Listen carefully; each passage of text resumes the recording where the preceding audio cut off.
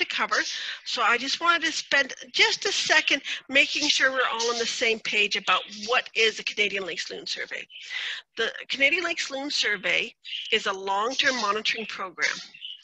Um, we look at population monitoring and uh, I'm sorry, we look at breeding success of the common loon on Canadian inland breeding lakes. We don't really monitor the population of the lakes, but we get an index of reproductive success. Um, and that is the main component of the survey. We track pairs and chicks um, that you see in your area, in your lake or your lake section annually. Um, and um, what else do we do? We have a few other components that we do as well, but um, that is basically what the survey is all about. And it's designed to be done in conjunction with your other activities on the lake. Like if you want to spend all summer looking for loons, go for it. But the survey is really designed so that you can do it in addition to your other lake activities. What else do I have to share with you? So that's basically it for the program. So our agenda tonight is, is fairly simple. We're going to discuss the new Canadian Lakes Loon Survey website, and I'm going to try to do that live from the website. We're going to discuss where you find your resources, how you do data entry, and then there's going to be an interactive question and answer session at the end. So let's start by going to the, uh, the survey. And we're going to start at the main portal, which is called the uh, from the Birds Canada webpage. And I'm just going to switch the, the page I'm sharing with you here. And this is what, can you all, I hope you now can all see, oh, I got to share. I hope you can all now see the, the web page for the Canadian Lakes Loon Survey. Um, and this is the new web page that was developed this spring. And there's some several nice features here. First off, right at the main page, you have the fact sheet so anybody interested in volunteering can learn about the program. You have access to the volunteer portal, my contact information. Um, can people see um, Larissa or Liza? Can one of you? Can you guys see my mouse when I move it? There's also listed um, resources to help you with loons. Help loons. Those are more for um, associations. There's also information on loon nest platforms as well as some reading materials. So let's move on to the volunteer portal because that's the main topic of conversation for today. And the volunteer portal is a pretty cool system that has been set up and it is part of Nature Counts and it's part of the Avian Knowledge network. So that means it's a really big system that a lot of data is being stored in. And um, Denis Lepage programmed um, a brand new data portal for us that in many ways works just like the old one, but hopefully without the little glitches and things like that that were in the old system we're asking everybody who's participating in the program to register in this system. And why is that? Well, right now, this the program no longer is tied to donors donations and membership fees for the for Birds Canada. So this is the best best way we track surveyors. So we ask people annually to go on, register, sign up for the seat for permanent use of the site, and sign up as well for each annual survey season. There's some nice options here I wanted to point out with you. First is a homepage every once in a while, the system just kind of gets stuck somewhere. Just remember the home page. If you hit on it, it takes you back to the system. The other one is sign in um, and sign up. Most of us will be signing in. The other one is if you scroll down, we have a section for new and potential surveyors and a section on conducting your, your survey. Now, a couple things I wanted to put point out here with this one is that there's no customized information here and it doesn't give you login name here. So that's two things that clearly show that you're not signed in yet. So let's try and sign in here. So when you sign in, you just click on the button. You put in your login name. For many of you, if you've been in the survey in the past, we ported in your old Canadian Lake Loon Survey account ID information. Um, and so that is what you would use here. And you just sign in. And when you sign in, you get a thank you. You're already registered for the season and something that customizes the site. It also says whether your um, login name at the top. So those two great ways of knowing that you're on. At the bottom as well, it gives you the opportunity to adjust your contact information. What's very important. Now, some of you are thinking, well, hold it. I don't know if I have a Loon Survey account or not. So how do you tell if you have a Loon Survey account? I recommend if you have any past involvement with nature counts or um, Birds Canada data entry or the Canadian Lake Loon Survey, you begin by trying to see if you have um, a account. And the best way to do that is to use the forget your password option. So if you go in there and you put in an email, I'm just putting in a fake one here. And you click on it, it will tell you immediately if that email is in the system. No, there's no login name or email of that name in the system. So say I think my login name is 1140459 and I look for that Again, it tells me that there's no login in the system. But if I ask it to send it to an existing email that I have,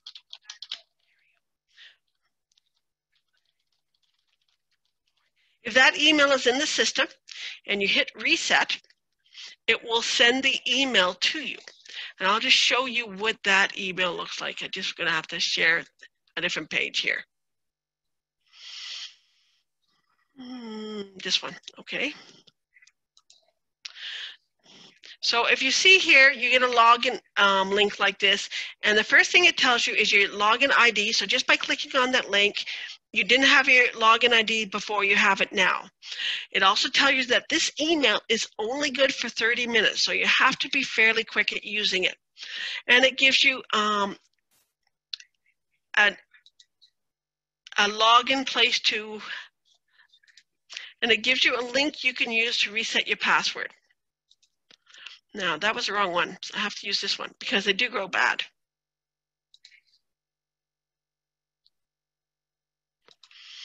Now, uh, this is what happens when you're doing online stuff live. Things get out of order. So I got to come up with my latest one here which is not today. And anyways, when you click on that link, we'll try that again.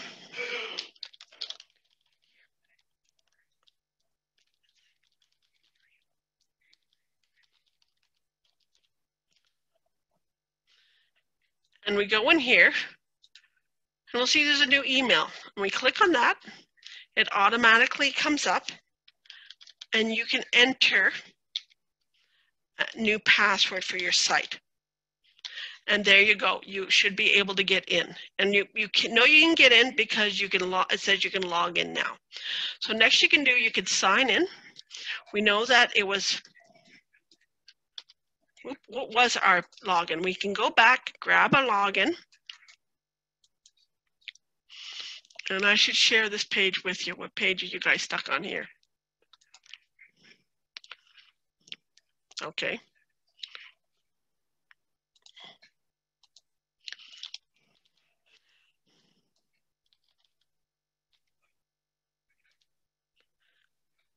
Up. And classic for me, I never remember my passwords right.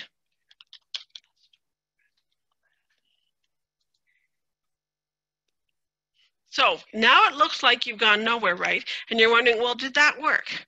But if you look up here, you will see that the right login name's there. And if you click on the home page, it takes you back and you see everything you need. Now there's a feature in this particular login that wasn't in the last one. This is called the annual pop-up. And every year at the beginning of the year, we're going to ask you what kind of survey materials you want for that year, whether you want a paper kit or an online kit. Choose whatever one you want and sign up and it's gone. And so you'll see that once every spring and once it's gone, you won't see it again. That helps us, even do that for 2020, is that helps us track who's doing what this year. All right. So next, what's the difference between signing in and signing uh, uh, signing in and signing up? Signing up is what you would use if you are um, on Nature Counts and have never been part of the Loon survey before, so you don't have a Nature Counts Loon survey portal component, or if you've just never done online data entry for the for the Loon survey at any point in the past. So it looks pretty similar. You go to sign up, and it takes into your login name. Some things to remember here is you want to make sure your login name is memorable. Um, you're just going to want you to fill in first name or last name. I'm not going to do it here. It's going to want you to confirm the password. And it's going to want an email.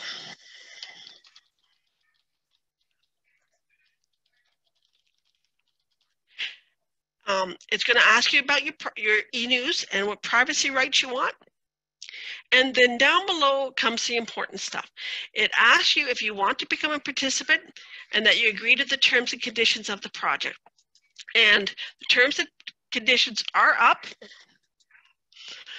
and they tell us what is expected of the volunteers. So you'd say yes to that. And the other thing you want to say is, I'm not a robot. Now, the other thing I want to note here is you want to complete all this component of the website, predominantly because um, if you don't, you'll regret it later. When you do the data entry online, it it requests that you have a full address on file. So if you do not have your profile complete, it will pause until you go back and complete your, your profile. That's just a little glitch in there that we have set up because we really, we have learned the hard way it's important to know our volunteers contact information at, at all levels. So anyways, I'm gonna hit yes and you're gonna see a lot of errors suddenly appear here. Um, up, yep, there you go. Now, a couple big errors to mention here. This one about if you're trying to save a data form, that's just a generic error it puts up every time. And it just means check all your fields, make sure you left nothing, nothing blank. Um, it's telling me that my login name is chosen already. If that's your favorite name, it may be you. If you chose something um, generic like I love loons, somebody else might be using it.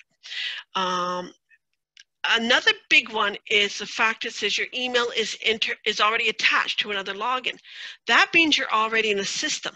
If you're a little lost and you can't find yourself in it, give me uh, um, an email and I can help you track that down.